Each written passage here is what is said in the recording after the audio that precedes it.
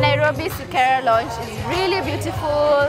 The colors are really vibrant. The decor is amazing. The people are looking beautiful. So I'm excited. It's sizzling steaks. It's nice drinks, soft drinks. You got your water, but of course, everyone's here to enjoy and sample a bit of Sikera apple cider.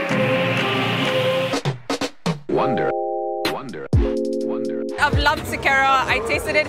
It's just the perfect balance between like sweet and savory and crisp and clean. We are an apologetically female.